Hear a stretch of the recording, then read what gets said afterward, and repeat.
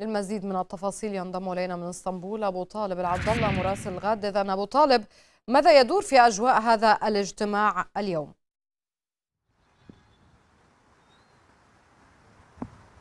نعم هو اجتماع روتيني شروق لأن الجريدة الرسمية نشرت قرار الرئيس رجب طيب أردوغان بتثبيت موعد الانتخابات وأنها ستجرى في الرابع عشر من مايو المقبل وهذا الاجتماع الآن يعقد في إطار دوري لتحديد عدة أمور، اولا التقويم الانتخابي كما يطلق عليه وهو تحديد الوقت الزمني لتقديم المرشحين وتحديد اللوائح الانتخابية وكذلك تقديم الأحزاب لمرشحيها في هذه الانتخابات وتثبيت أسماء المرشحين لانتخابات الرئاسة وكذلك إعلان الموظفين الحكوميين استقالاتهم من الآن مناصبهم ولتمهيد الانتخابات البرلمانية التي ستجرى في نفس الموعد.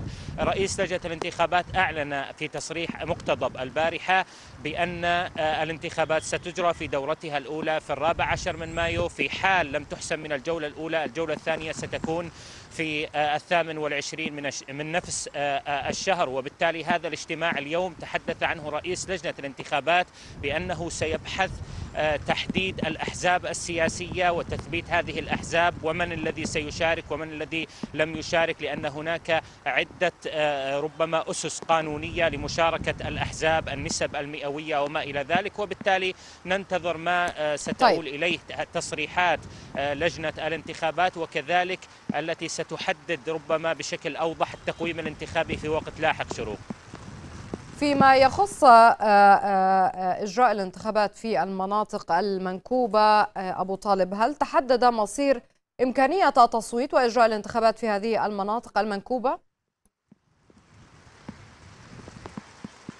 حتى الآن لم يتم الحديث عن إجراء الانتخابات في الولايات المنكوبة شروق ولكن الحديث عن أهالي الولايات المنكوبة سيجرون التصويت في ولاياتهم التي لجأوا إليها والقانون يضمن لهم الإدلاء بأصواتهم في أي مكان يتواجدون به لأن القانون كان سابقا يتحدث أنه من الضروري أن يتواجد أو يدلي الناخب في الولاية التي يقيم بها قبل ستة أشهر يعني تثبيت موعد أو مكان سكنه في هذه الولاية. نعم شروق نعتذر. شكرا. هناك عاصفة مطرية شكرا جزيلا لك. من إسطنبول أبو طالب العبد الله مراسل غد شكرا جزيلا.